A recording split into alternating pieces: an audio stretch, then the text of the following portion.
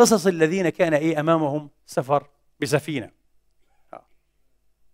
على فكرة في نفس السنة 2004 ومقطع على إيه الفيديو رأيته أمس لشيخ أندونيسي يجيد العربية شيخ علم هو.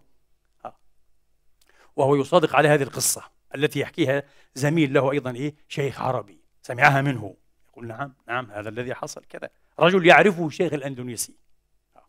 كان عنده سفرة ولابد أن يسافر إلى مركز إيه؟ للتسونامي. لكن فتته الباخرة التي عليه أن يستقلها فرجع إلى بيته مغضبا حنقا حزينا. فلما ضرب التسونامي في صباح اليوم إيه؟ التالي جاء أهله يهرهون إليه فرحين. حركوه فإذا هو ميت. كان مكتوبا أن يموت في الساعة ذاتها في الوقت نفسه لكن ليس إيه؟ غرقا. لكن هذا أيضا موعد موته بعض الناس مكتوب أن يموتوا سوية مع بعضهم. شيخ كويتي أيها الإخوة يحدث عن شاب يقع له حادث حادث سير في السيارة والحمد لله نجا منه لكنه اتصل إيه بأبيه. وأبوه كان إيه على رأس عمله. أه ماذا؟ قال الحمد لله أبتي لا ترع وقع معي حادث سير أنا بحمد الله بخير لكن لابد أن تأتي هنا. إكمال ربما أشياء مع الشرطة لا ندري. فجاء أبوه. اعتنقه وهنأه بالسلامة الحمد لله. لم إيه؟ لم يمسه لم يمسه سوء. ووقف مع ابنه بين سيارتين. يتحدثان. تأتي سيارة كبيرة. تضرب إحدى السيارتين فتلصقها بالأخرى فيموت الأب وابنه. إذا هو اتصل بأبيه لكي يقضي معه في المكان نفسه. مكتوب أنه يموت مع ابنه في هذه اللحظة. أيها الإخوة بين الموت أحيانا والنجاة من الموت مليمترات. أعرف رجلا يقول حين كنت صغيرا نزلت رصاصة.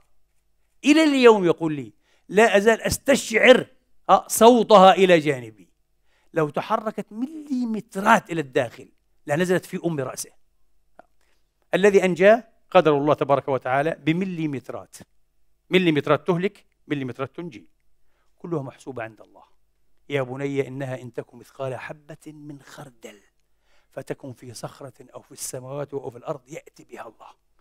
لا يتحرك متحرك ولا يسكن ساكن إلا بأمر الله. إنه رب هذه العوالم لا إله إلا هو. إنه قيوم السماوات والأراضين. الذي له مقاليد السماوات والأرض. وهذه الآية وردت في موضعين من كتاب الله. له مقاليد السماوات والأرض.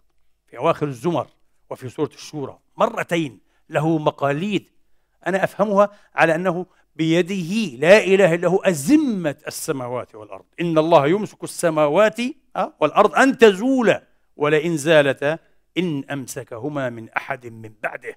ويمسك السماء أن تقع على الأرض إلا بإذنه. هذا هو الرب الجليل لا إله إلا هو. لا شيء يخرج عن طوعه لا شيء يخالف أمره الكوني القدري وليس الشرعي. نحن فيه مخيرون آه، وفي أعمالنا مسلطون. بما شاء الله تبارك وتعالى.